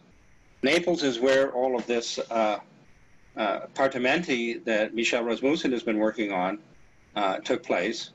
Flanders was where the choral societies began, the church choruses, which began composing and singing uh, beautiful four voice music. Erasmus was a big part of this. Uh, Erasmus very much uh, sang in choruses, uh, wrote a beautiful elegy on the death of Ockeghem, the leading composer of the time, and wrote about the differences in choruses between what he called Dionysian and uh, and Promethean choruses and the way that they sang. So he saw this as part of shaping the morals of the population. And when Leonardo wrote his uh, now suppressed work on the voice, he was intersecting a tremendous growth in this choral tradition in Italy, which was part of involving the population, as we're doing right today with the Schiller Institute, because a chorus and singing is something where you can take ordinary people, don't have huge backgrounds, don't have a lot of money, you can teach them to sing, and they can sing in four voices in a chorus, and that is political. And uh, you know, from that standpoint, I think your friend is missing the uh, higher uh, aspect of what political is all about. Uh, as far as Beethoven and the what you said, the Napoleon, the Napoleon thing was one thing that was very overt and upfront and in your face. And Beethoven hated it. He hated having Fidelio played for French soldiers. Uh, when his friend uh, Prince Lichnowsky invited him to his country house and said, "Oh, here's some French soldiers, play for him." That's when Beethoven broke with Lichnowsky, went home and smashed his bust and never talked to him again. Uh, The Congress of Vienna was a far more insidious thing uh, because no one was really saying, "Don't write this, don't write that." I mean, there was a lot of censorship, but he found himself in an atmosphere where people were just dumbing themselves down. It reminds me of the McCarthy period in the United States. What was the politics? You know, younger people don't know this, and they should really look it up. Because under the guise of anti communism, it was really designed to prevent thinking. Uh, at the end of World War II, a lot of Americans didn't really trust our British allies, were uh, critical of how they had conducted the war to preserve the empire. They couldn't quite understand why our former Russian allies were being turned into enemies. But if you brought up any of these questions, then you'd be dragged in front of HUAC and presented with the question, are you now or have you ever been a communist? And you could be thrown in jail. You could plead the Fifth Amendment, and they would not call it a Fifth Amendment right. They would call it a privilege and throw you in jail for a year. So I think at that point, Americans learned to dumb themselves down. Watch TV sitcoms. The TVs, the 50s are not to be idealized. The I, I, idolized. The the sitcoms of the 50s were stupid, dumb, and people watched them and played sports and just generally dumbed themselves down. And that's political, and that's what happened during the Biedermeier period, which is that people just decided, I'm not going to be political. I'm going to stay out of trouble. I'll write poetry about nature. I will uh, consider furniture design as an art form, and that's the way that I'll go. And that's what Beethoven had to contend with.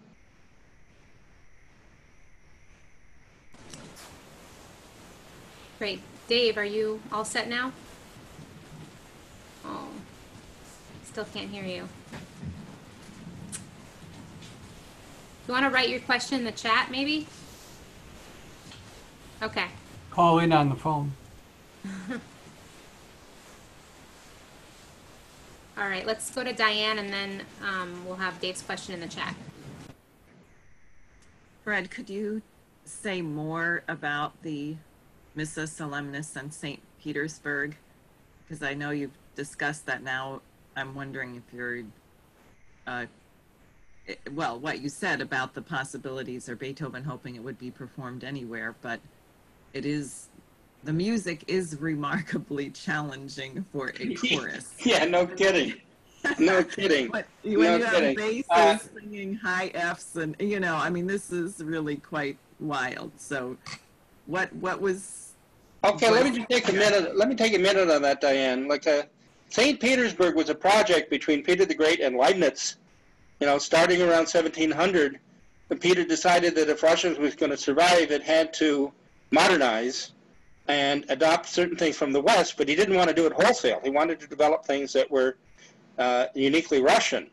So they brought in Italian architects to build architecture that was both Russian and Italian.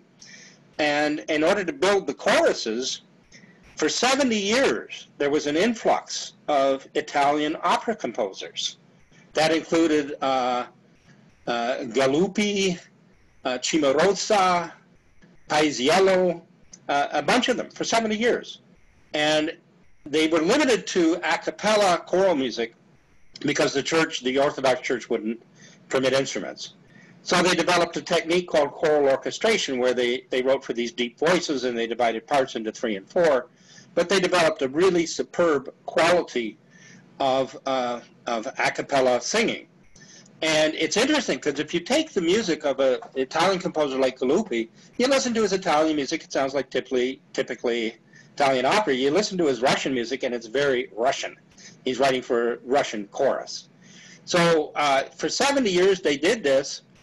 And at a certain point, Galuppi took a, Bortniansky, who was a boy soprano, uh, to Italy, where he studied for 11 years, wrote operas in Italian, came back and headed up the uh, St. Petersburg Imperial Court Choir. And at that point, it was known as the best chorus in the world. Uh, Robert and Clara Schumann testified to that somewhat later. Others did. Uh, and it was what year was that? uh, that would be the uh, early 1800s. He died in 1825, so he would have conducted the Missa Solemnis when it was uh, uh, in 1824. And if you want to do something interesting, go to YouTube, find a work by Bortniansky, and listen to it. Listen to a composition by the guy who actually conducted the uh, Missa Solemnis in Russia, and you'll hear uh, what a good composer he is and how well he knows the voice. And the Russian choruses from that time on were known for their training in bel canto, in Italian Italian bel canto singing, because that's the way the uh, Italian opera composers train them. The St. Petersburg Philharmonic was also known for its bel canto. Their brass used vibrato when other brass did not. I'm sure as a brass player you'll appreciate that. I, I can send you an example if you like uh, uh, to hear. And under Bortniansky's direction, they uh, the St. Petersburg Philharmonic and the Court Imperial Choir had collaborated on several works by Mozart, Haydn, and Beethoven uh, on producing them. That was also the same time as Alexander Hamilton's works were being translated and circulated in uh, St. Petersburg. So it was a it was a situation of a new an attempt to build a new society. And in a certain way, it was on the hinterlands. The things that were happening destructive outside of it weren't touching it uh, at, at quite as much. Uh, I've also just recently looked at this, but the hall in which they performed uh, is known as the Shostakovich Hall today, but it's a, it was actually a beautiful new piece of architecture that was produced at that time. So uh, when um, when the uh, when Galinsky, Prince Galinsky wrote to Beethoven, "You won't find any be- better voices than we have here," that was actually true and known. So I think it actually did end up in the place probably the most qualified to produce it. Okay, let's give Dave another shot, and then Alessandro, you're going to be after Dave, okay? Okay. Can you hear me this time? Oh, great. When you get my voice instead of my face, it's probably an improvement. Uh, I just had, I really, uh, Fred, you actually took away most of the points I wrote down to make. So Okay. I enjoy, so that means I enjoyed it quite a bit. I just underlined two things. The smaller thing is um, uh, Beethoven had no mass organizing works for, from 1814, 1822, 1823. It's that had Yeah. not been any part of his life. Yeah. He took deadly. I mean, he tried to intervene into the Congress of Vienna. We all know the Congress of Vienna is a bunch of jerks, but that was after the fact. The Congress of Vienna went on for seven or eight months. And the Humboldt crowd around Prussia's delegation were serious that maybe they could get something stable that wasn't Napoleon, it wasn't, uh, wasn't what ended up happening. You know, the Holy Alliance, the hmm there were hopes going into the Congress of Vienna, and Beethoven was not crazy to try to intervene. He did a work on his Fidelio to uh, rework it to intervene into that situation. What exactly did Humboldt and the Prussian delegation hope to accomplish? What was their the idea that uh, Beethoven thought was good? I don't know all the details, but you know the Humboldt reforms. What they did in Prussia after the defeat, they were defeated by Napoleon in 1806 or so. hmm in 1808, 1808 for sure, the Humboldt reforms and the general reforms going on, you know, Helga's one is going to be able to, what she's written on this is what I'm just stealing from. Um, but the idea is, is mass education, and you can't have all the other specific reforms, whether they were for um, what they did later with list and tariffs and whatnot. I assume that was part of the package but certainly science and education was the, was being pushed in a way that neither Napoleon was or the, uh, the alliance was. Uh, the other thing is just something Lynn used to always emphasize. Well, maybe I'm not sure we got it from Lynn or not, but that um, every one of the salons in Vienna around the Congress of Vienna for seven or eight months was pretty much just a lot of whores and a lot of spies, and a lot of whores were spies. So you didn't have a lot of you had a lot of partying. You had the situation when the Tsar Alexander famously brought in these tuned up instruments, jacked up. Yeah. Uh, you know, so they're competing as to who could outdo each other in sensations. Um, the Humboldt's mission was the only place you did not go to if you wanted to sleep with a whore. You know, and also they were the ones obviously pushing the Fidelio. There's more work can be done, but I didn't mean to get uh, spend too much time on that. It's just to emphasize the amount of if, if you think there's a time when your audience is taken away from you, Yeah. like when Lynn was put in jail and we had to think what, you know, how do you organize? There, there are moments in history that happens. Beethoven had that and it was heart wrenching. It was gut wrenching. So think about the Ninth Symphony and the Missa Solemnis and the tremendous outbreak of optimism, eh, depth, not, not starry eyed optimism, but real profound optimism. The other major thing is just, uh, I'm glad you brought up the Kol Nidre section of that um, Opus 131. It brought up memories of uh, the movement before that. It was just horrifying to play, to learn. Uh, but going through the movements, I mean, that's the, one of the most, um, uh, going through those seven movements, it really is a test of maturity to be able to not to fully identify with what's going on with each movement and not identify so much that you're locked into that movement. Yeah. One of the most interesting tests. I, I'm reminded of that of, of what uh, what Plato says at the end of the symposium. What has Socrates supposes Socrates as being after everybody else had drunk themselves into a stupor and they're all asleep. They're talking with um, Aristophanes and uh, and the Aristone, the guy who won the the contest, the poetry contest, and he's uh, Socrates is holding forth that of course there's a higher art form than tragedy or comedy, one that combines both together. Yeah. Standard that Plato set for himself in terms of some of his dialogues. And the last part of that is up already, but I mean, Lynn is the classic example of somebody who, in the middle of something, of 10 minutes of the most serious development, of the highest poignant ideas, can make the most vulgar pun. Um, and yeah, I thought about that over the years, but it's it's it's actually uh, not just quirk. I think uh, it, it's it pats an audience on the back. He says, "Look, I know what you're struggling. With. I know what world we're in, and I know you're questioning. You're in love with these ideas we're developing, and I know you're questioning whether or not that can, whether that's really real, or whether that's just momentary entertainment for me." And these things have a function that you can actually, um, you you you can. Well, it's what you already described in terms of the of Beethoven's portrayal of Christ that uh, it is man, it is God, it is both. You know, don't give me a problem. This is what I mean. So, and, and uh, Lynn does believe great ideas can move history and that people can represent those things in daily life. And part of that function, part, I guess Lynn sometimes was just going off. Other times, I, I, or maybe all the time, it's a very compassionate thing to do, to give people to laugh at their own situation on earth as they're getting wrapped up in these great ideas. Don't know if I expressed that prop- properly, but that's what that uh, experience of going through the 131. It was one of the most difficult uh, quartets to learn ever, in my experience. Not only because of technical challenges, but mainly because there's the em- emotional maturity that has to go on to be to honestly perform those things and not just not just go ignore the differences, the, the, the fast transitions. That's it.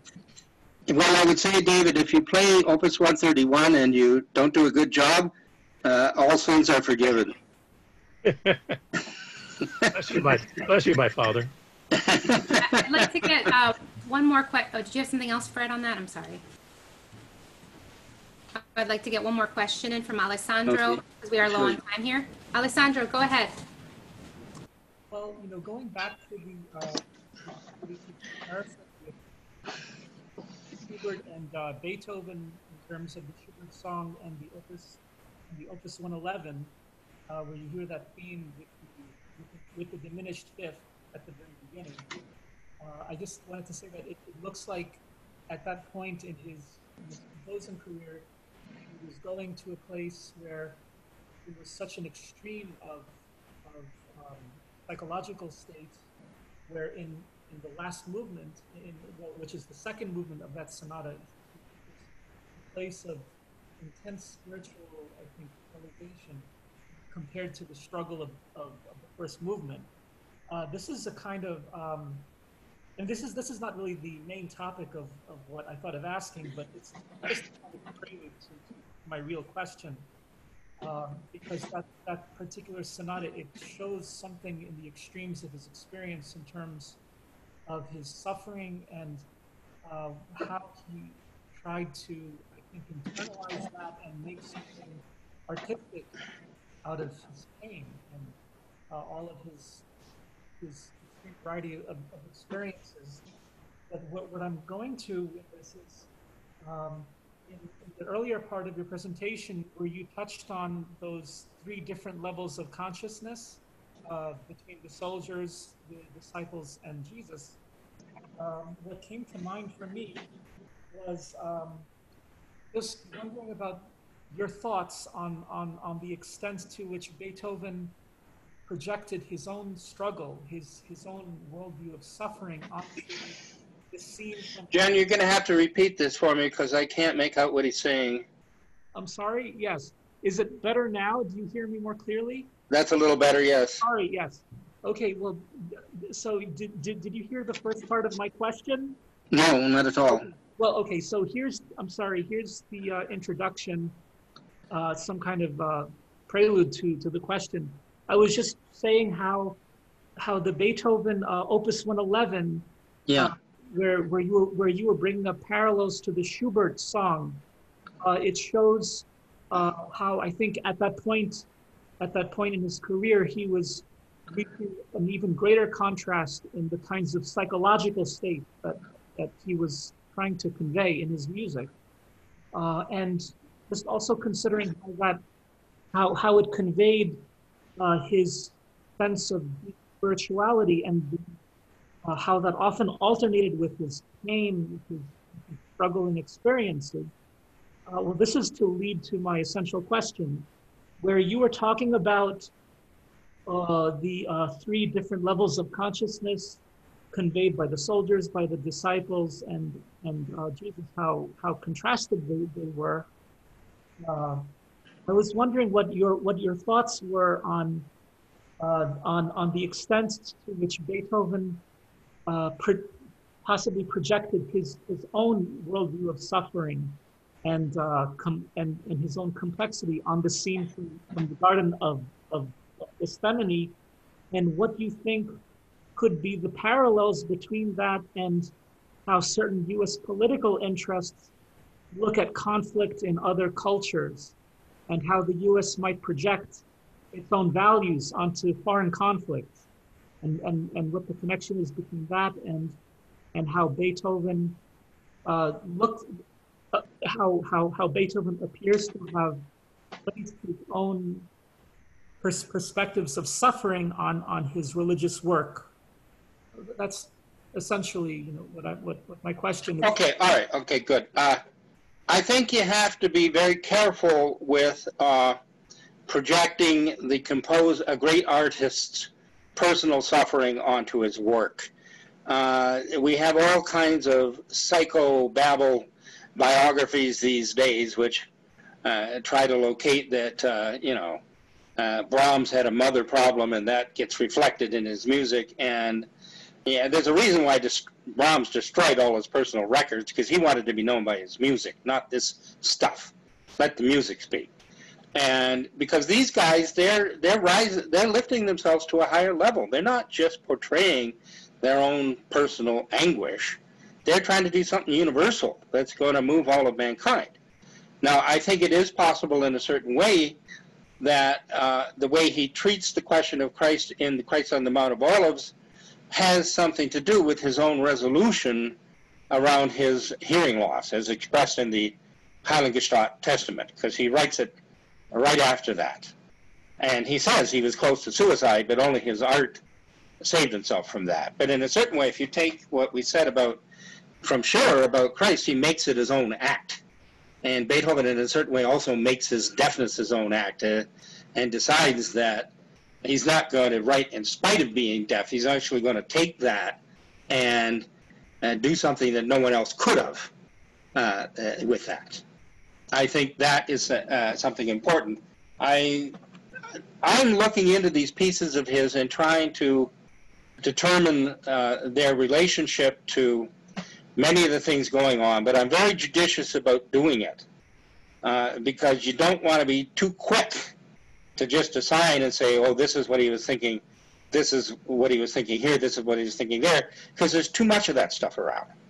There's too much of, uh, you know, oh, he had a he had a hangnail that day, so we hear that in this chord, or uh, that's an exaggeration, but it, there's too much of uh, just reducing the great artist to someone like ourselves, say, saying they must be like us, they must be ordinary people, they must uh, have the same aches and pains as we do, and they must express those. And that's not what motivates them. A Beethoven is, and a Schiller are motivated by a love of humanity. And The anguish that they sometimes experience is not personal anguish, it's anguish for humanity. And I think you have to take that into account. And as for Opus 111, uh, uh, it's only got two movements, and I don't know of anything that goes through a greater transformation than that. The second movement is one of my favorite works of all time. That is, it's sublime. Uh, it's just, uh, and there's nothing like it. But that's what I say. And the second part of your question, I didn't quite figure out how that fit in. Yes. Perhaps, uh, perhaps uh, maybe you can take down the email. We really are over time, and I'm. Sorry about that. That's okay. Anybody who wants to write me a question, feel free. I'll answer Fred, you. Can you say what your email address is quickly so people? Yeah, can- it's F Haight, letter F, H A I G H T, my last name, at gmail.com. And I will answer any, I will take the time to answer anybody who writes. Thank you so much. This was wonderful. Um, and just a reminder, the next class will be September 20th at 4:30 uh, on Kepler's Harmony of the Worlds, given by Megan Dobrodt. And then the final class of the series will be on September 27th um, on Beethoven's Compositional Method by Mihua Steger. So Great. thank you again, everybody. Um, and if you really loved this series, feel free to also donate to the Schiller New York Chorus um, uh, through the website. And thank you again, and have a good night. Thank you, Fred. Thank Thanks, you. Fred. Thanks. Thank you Fred, very much. I was just a little fever the first day. Hey, I know that person.